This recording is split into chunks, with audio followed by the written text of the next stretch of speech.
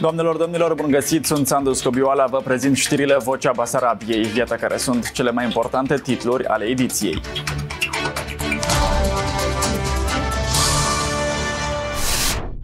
Judecat în absență, omul de afaceri Vyacheslav Platon a fost condamnat la 20 de ani de închisoare cu regim strict de un tribunal din Moscova.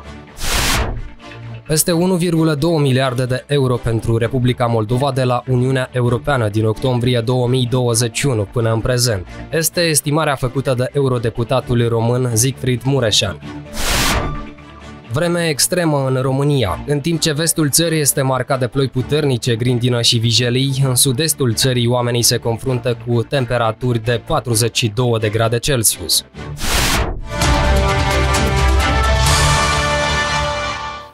Omul de afaceri Vyacheslav Platon a fost condamnat la 20 de ani de închisoare cu regim strict de un tribunal din Moscova. Acesta a fost găsit vinovat de retragerea ilegală de fonduri în valută străină din Federația Rusă în valoare de peste 126 de miliarde de ruble.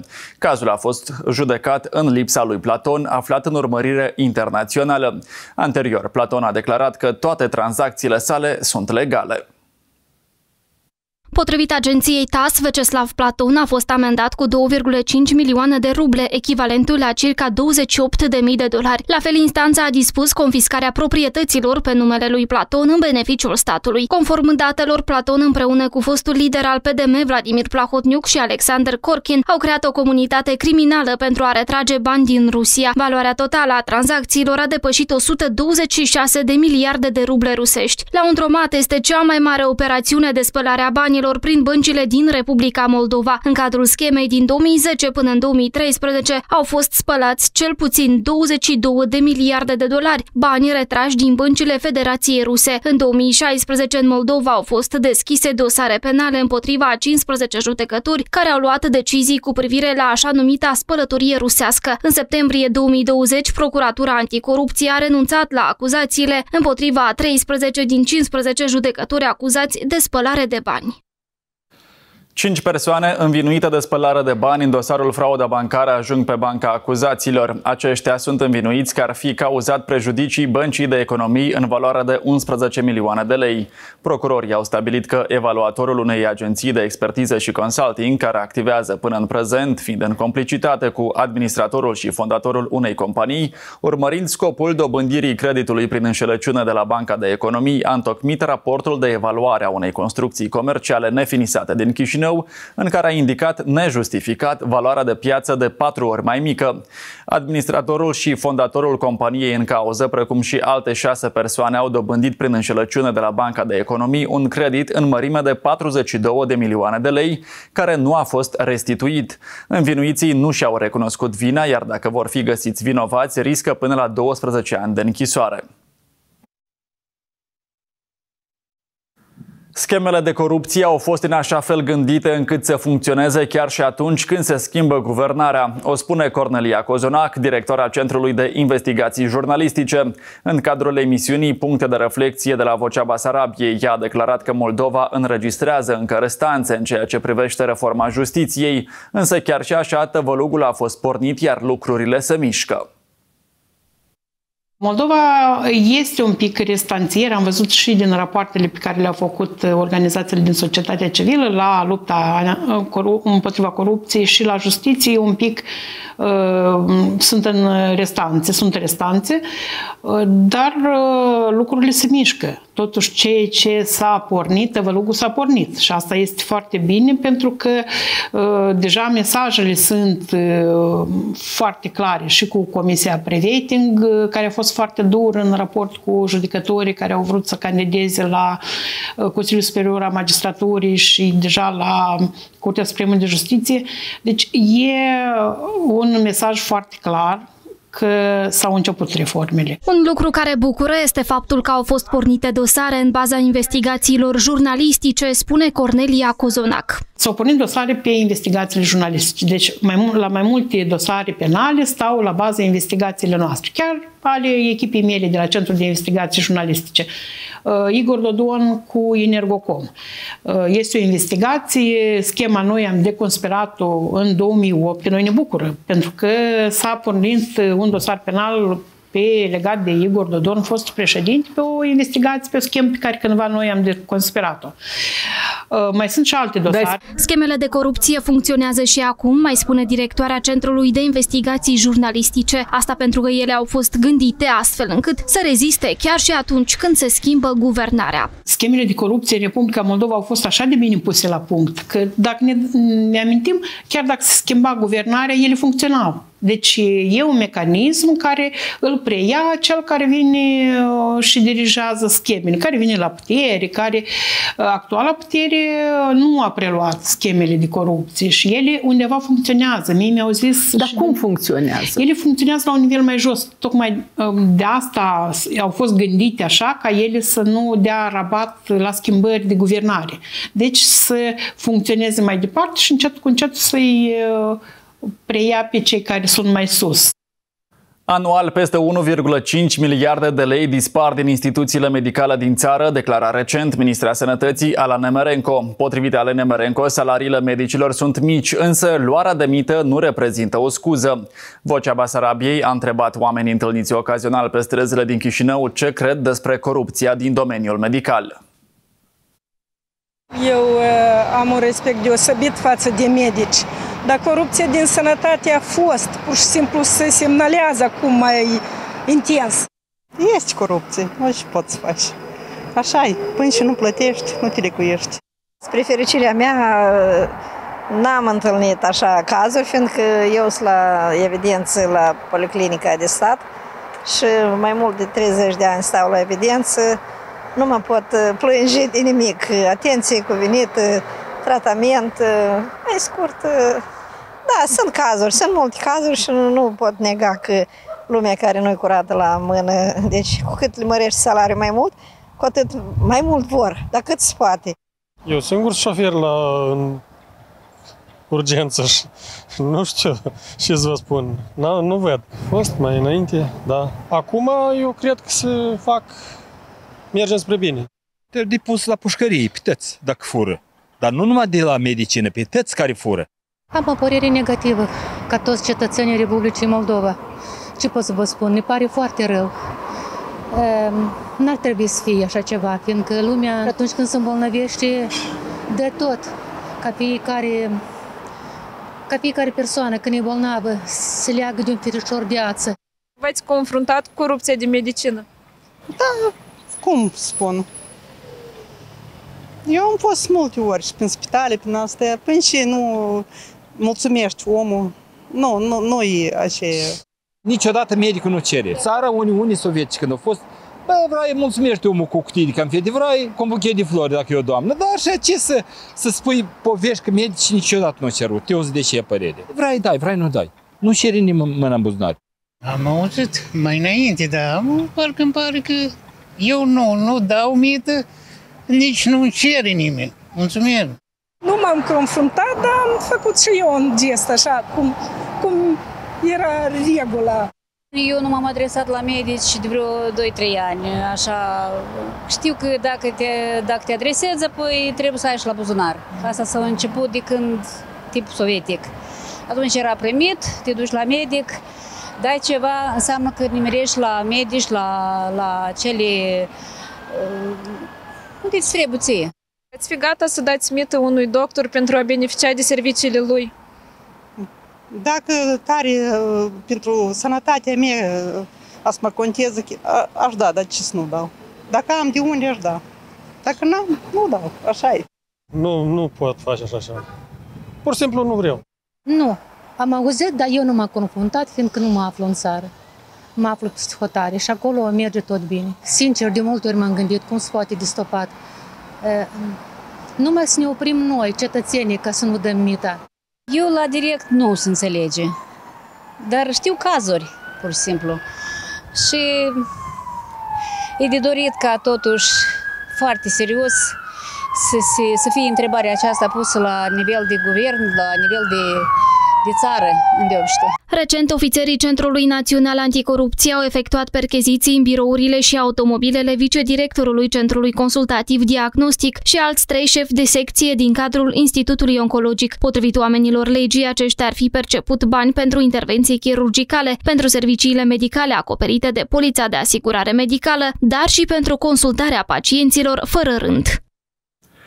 Domeniul sănătății rămâne a fi unul dintre cele afectate de corupție. Este rușinos să auzim despre cazuri de mită în instituțiile de sănătate, o spune Ion Dodon, directorul Companiei Naționale de Asigurări în Medicină. Invitat la emisiunea Puncte de Reflecție de la Vocea Basarabiei, acesta spune că acest flagel trebuie combătut cu tărie, dar e nevoie ca și pacienții să nu ofere mită. Se investește foarte mult, se alocă surse foarte hai să spunem, nu foarte, dar destul de esențiale pentru această instituție, chiar în ultimii ani.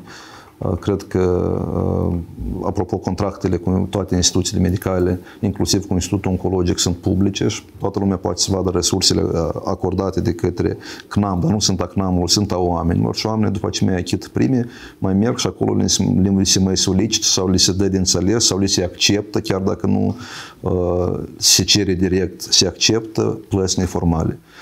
Și nu e vorba doar de această instituție, din păcate încă mai persistă acest fenomen și acest fenomen deja este rușinos pentru noi. Nu, nu mai poate fi tolerat.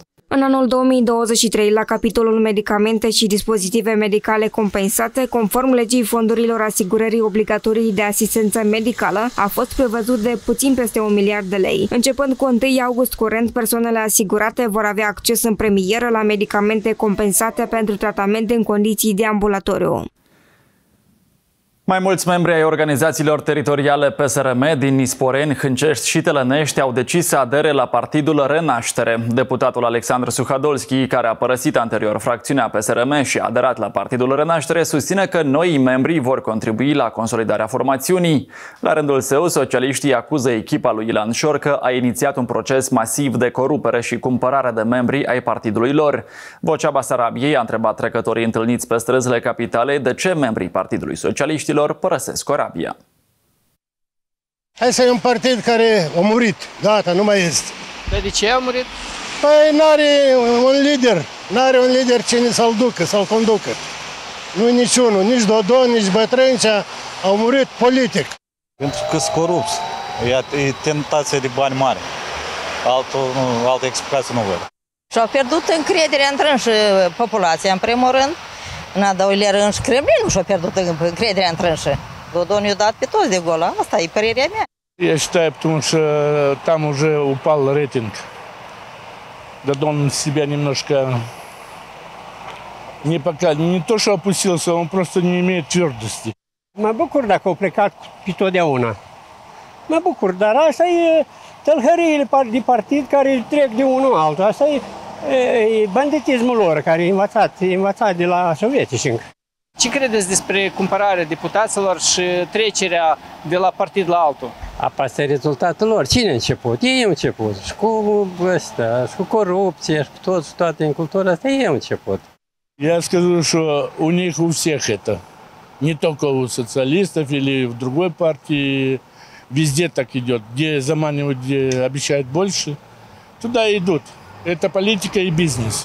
Eu cred aici că nu, eu nu sunt de acord cu dânsă, pentru că ei, într-adevăr, au călcat multe reguli, multe legi care nu le fac față lor. De atâta ei și fug.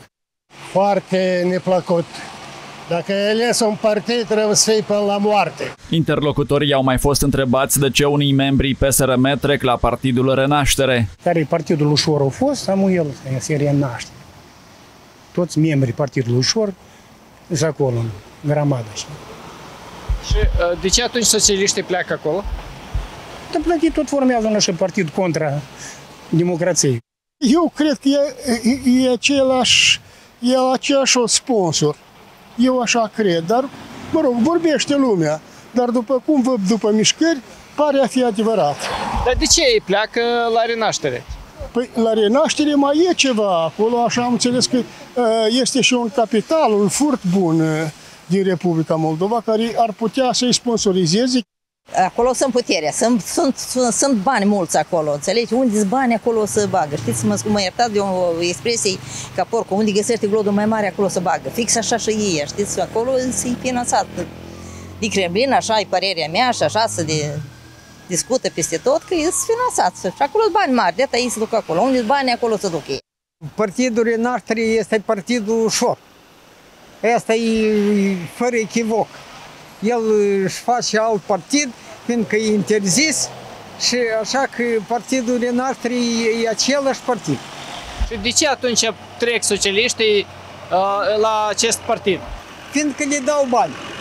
Bani sunt, șor are. Care deosebire între socialiști și Partidul Renaștere? Mie îmi pare că nu e nicio deosebire nimica.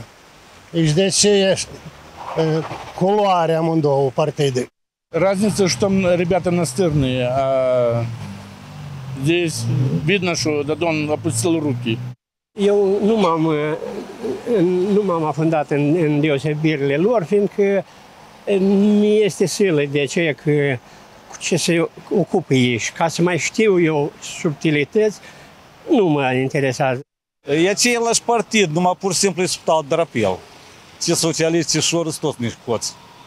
Și toți, cum, pretind că vor să fac ceva pentru Republica Moldova, dar nu, asta e o farsă, e o... E spălare de bani, mai în scurt. La finele lunii mai, patru deputați ai fracțiunii parlamentare a blocului comuniștilor și socialiștilor, Vasile Bolea, Irina Lozovan, Alexandru Nesterovski și Alexandru Suhadolski, au părăsit formațiunea și au anunțat că aderă la Partidul Renaștere. Uniunea Europeană a mobilizat din octombrie 2021 și până în prezent peste 1,2 miliarde de euro pentru Republica Moldova. Banii au fost alocați pentru a sprijini țara să treacă peste criza energetică și provocările economice și de securitate cu care se confruntă. Despre aceasta a menționat deputatul european Siegfried Mureșan. Potrivit lui, în ultimul an, instituțiile europene au făcut o prioritate din sprijinirea Republicii Moldova.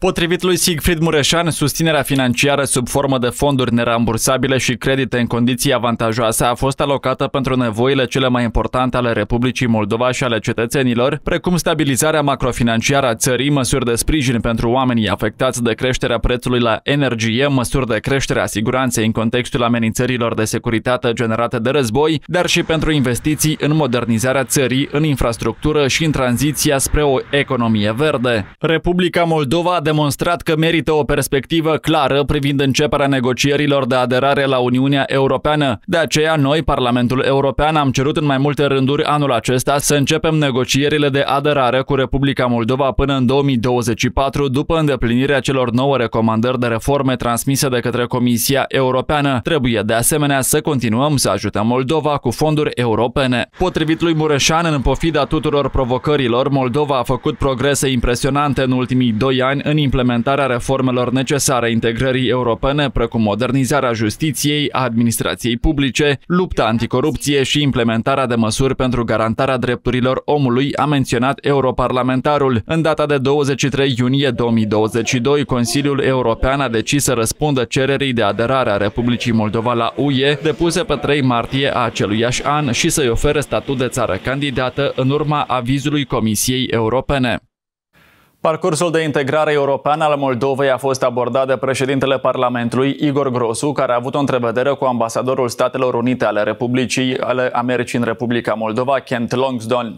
Șeful legislativului l-a informat pe diplomatul american că Parlamentul urmează să ratifice în lectura a doua cel de-al 15-lea amendament din acordul de asistență privind obiectivul de dezvoltare dintre Guvernul Republicii Moldova și Guvernul SUA. Grantul în valoare de 220 de milioane de dolari din partea SUA va fi folosit pentru investiții în sectorul energetic. Potrivit speakerului, Republica Moldova este tot mai des menționată în SUA drept un model de țară care avansează pe calea democratizării. Vocea Basarabia a întrebat oamenii întâlniți ocazional pe străzile capitalei ce părere au despre cooperarea moldo-americană. Moldo-americană? Dar ce, ce părere pe să fie? Numai bună? Нормальные отношения, как со всеми странами, наверное. Salut așa cooperare.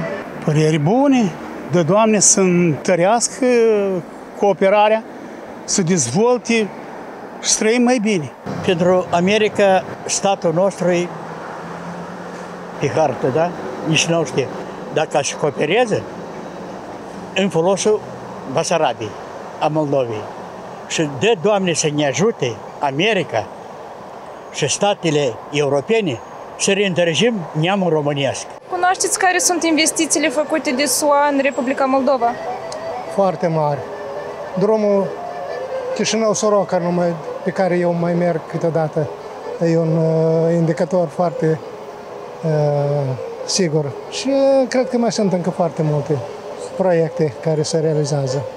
Da, știu, nu, nu le pot renumera chiar acum, dar să o mulțimi.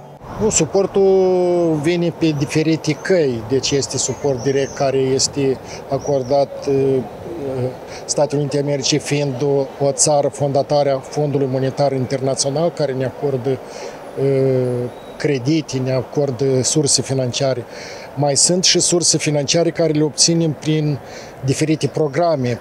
Programul Națiunilor Unite pentru dezvoltare, spre exemplu, în diferite localități de Republica Moldova se dezvoltă, se construiesc drumuri, sedii sociale și, și multe. Este un suport incontestabil.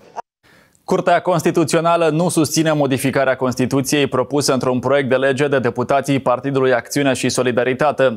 Este vorba despre inițiativa de a modifica articolul 70 din legea supremă, iar ca urmare parlamentarii se poată desfășura activitate privată în timp ce își exercită mandatul. Prin proiectul de lege înaintat, deputații PAS au propus să fie modificat articolul 70 aliniat 1 din Constituție. În prezent, acesta prevede că funcția de deputat este incompatibilă cu exercitarea oricărei alte funcții retribuite, cu excepția activității didactice și științifice. PAS a propus ca în Constituție să fie prevăzută incompatibilitatea mandatului parlamentar doar cu funcția publică și de demnitate publică. Astfel, deputații ar fi putut să aibă ocupații private, cum ar fi cele de artă, medicale, consultanță și altele. Deputatul trebuie să fie nu numai independent de orice influențe, dar și să se dar și să se abțină de la exercitarea unor funcții sau de la desfășurarea unor activități, care prin natura lor ar fi în contradicție cu mandatul său reprezentativ. Prezentul aviz este definitiv și nu poate fi supus unei căi de atac. Noua bașcana Găgăuziei, Evgenia Guțul, și-a format echipa. Totuși, colegii săi au fost prezentați nu de ea, ci de Ilan Șor, care a apărut pe un ecran mare la evenimentul de prezentare a echipei. Astfel, primarul municipiului Orhei, Pavel Verejanu, renunță la funcție în favoarea fotoliului de vicepreședinte al Comitetului Executiv al Autonomiei Găgăuze. Guvernul local de la Comrad va fi completat de Victor Petrov și Mihail Vlah, foști pretendenți la funcția de bașcan, dar și de Boris Golovin, fost director al Centrului Național de Asistență medicală urgentă prespitalicească. Noua componență a Comitetului Executiv al Autonomiei urmează să fie aprobată în cadrul ședinței adunării populare a Autonomiei Găgăuzep. După prezentarea echipei, Șor a ținut și un discurs în care a dat asigurări că membrii echipei alese sunt profesioniști și chiar dacă unii dintre ei nu cunosc limba găgăuză, o vor învăța pe parcursul unui an. Нам нужны изменения здесь и сейчас. Нам нужны изменения сегодня. Мы сделаем чтобы люди жили лучше. Мы сделаем, чтобы у людей были лучшие условия и чтобы люди были уверены в завтрашнем дне. Я уверен, что мы вместе превратим Гагаузию мечты. Наша команда будет командой национального единства, которая будет служить исключительно жителям Гагаузии, генерировать позитивные изменения, принесет прогресс в жизнь региона. Între timp, la Chișinău, fotoliul Evgeniei Guțul din executiv rămâne gol, asta pentru că încă nu există un decret prezidențial de numire a acesteia în funcția de membră a guvernului. Jurnalista Valentina Ursu continuă discuțiile la Firul Ierbii în comuna Filipeni din raionul Leova. A stat de vorbă cu Zina Străistaru și Eleonora Vicol, care de mai bine de 15 ani muncesc în Italia. Deși dorul de casă le macine, sătencele spun că au plecat să asigure un viitor decent copiilor. Europa înseamnă cultură și salarii mai bune, spun interlocutoarele. Zina Streistaru s-a născut în comuna Filipeni, din raionul Leova, iar de 16 ani se află la muncă în Italia. Lucrează ca badantă, iar în luna august va pleca înapoi. Totuși, spune că se bucură când vede cum satul natal se dezvoltă. Noi suntem știhotari de mulți ani, dar în satul filipeni noi ne-am născut și ținem tare mult la, la sat. Acum primarul și toți pun toate eforturile să fac cum în Europa. Acum ne dă, suntem în regulă, ne dă leafa la timp și e mult mai mare. Suntem corect. respectați tare. Eu vă spun corect. Toate familii care am lucrat, eu fac acolo badantă. E, am fost în familii tare buni. Își dorește ca și Moldova să facă parte din familia europeană. Zina Străistaru spune că s-au schimbat multe de când a plecat, iar acest lucru o bucură. Sperăm ca da. fi de acum au început, că eu mă bucur că aici la Filipeni și o tras și apă și gaz și acum spun să facă drumul chiar pe strada mea.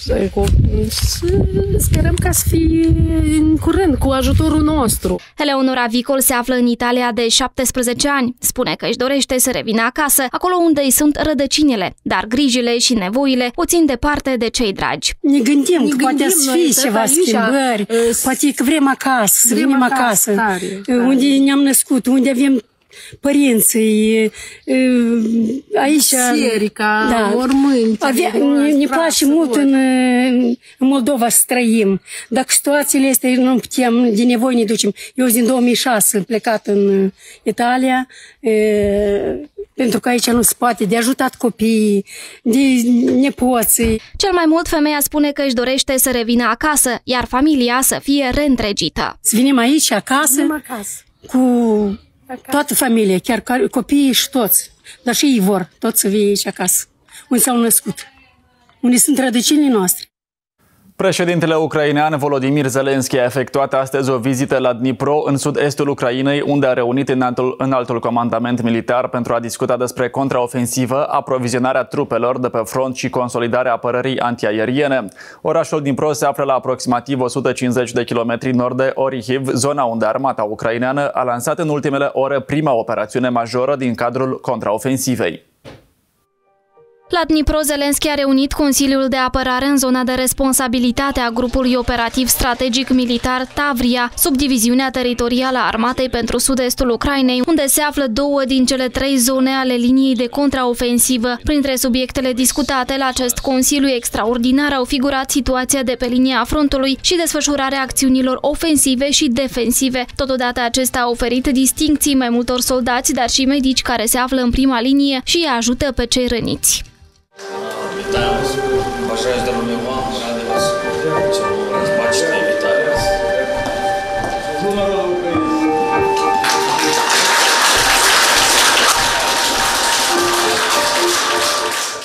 Orașul Dnipro, un important centru economic din sud-estul Ucrainei, se află nu departe de linia frontului care se întinde de la Herson în sud, prin regiunea Donbass și mai la nord până în regiunea Harkov. Înainte de război, orașul avea o populație de aproximativ un milion de locuitori și a devenit un centru logistic și umanitar pentru Ucraina de la invazia pe scară largă a Rusiei la 24 februarie 2022.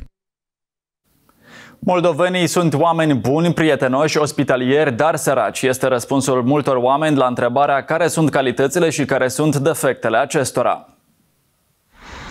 Întrebați care sunt calitățile bune ale moldovenilor, oamenii au răspuns că sunt veseli, primitori, pașnici, iubitori de petrecere, cu un accentuat atașament față de familie, tradiție, credință și, bineînțeles, față de țară. Una din topul calităților bune ale moldovenilor este ospitalitatea și totuși mai cred ei că, așa cum nu există pădure fără uscături, așa și printre moldoveni sunt oameni diferiți. Sunt frumoși, sunt omănoși, sunt foarte harnici, sunt gospodari. Au gospodării destul de frumoasă, casă frumoasă, copii educați și au o tendință de a investi foarte mult în copii. Și nu numai în copii, dar și în nepoți. Deci toată viața care o duc, moldovenii investesc și investesc foarte calitativ. Pe dânsii nici nu trebuie să invest la universitate. Ei știu din moș strămoș cum să facă lucrul acesta. Calitățile bune sunt, sunt generoși, sunt amabili, uh, muncitori din calități negative. Bine, astea care le-am spus pot fi interpretate și negative în sensul în care pot ușor poate cineva să profite de bunătatea noastră. Uh, sunt invidioși și încă o calitate. Poate nivelul de educație nu este atât cum ar trebui să fie, adică nu pun accent chiar din școală pe educație, dar mai mult pe altceva. Astea sunt defectele. Da. Care sunt calitățile bune ale moldovenilor? A, că sunt buni oameni și muncitori. Și atât. Și au moldovenii defecte sau nu? Da, biu, fumează. Astea sunt. Uh, dar ca popor, cum suntem noi, ca popor uh, moldovenesc? Avem publicitate bună, după hotare. În socot de oameni buni, muncitori. Gospodari, cu minți și deștepți. Și frumoși. Nici nu se discută. Că suntem un popor bun, pașnic și cu doamne frumoase. Плохих нету, есть хорошие. Хорошие люди молдаване. Можно сказать правду, это человечные люди.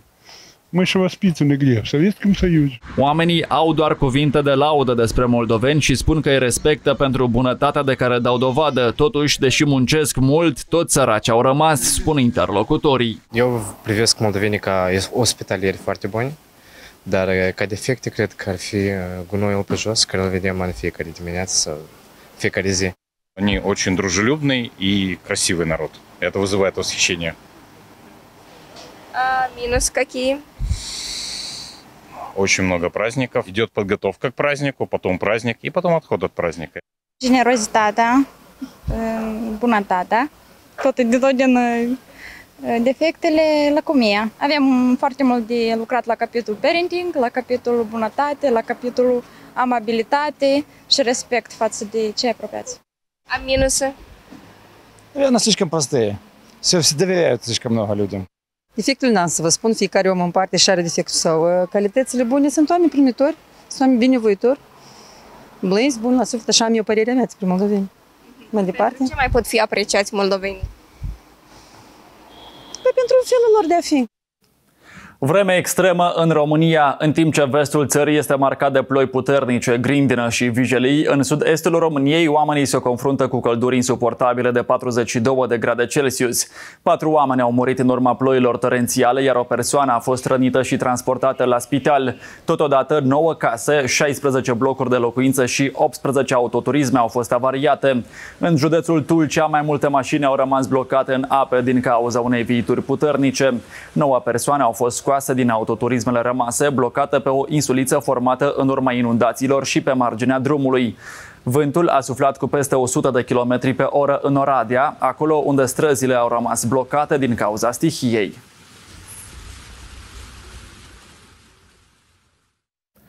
Doamnelor, domnilor, știrile se încheie aici oricând ne găsiți pe voceabasarabiei.md, Facebook și pe platforma YouTube. Rămâneți alături de Vocea Basarabiei, vocea care ne unește.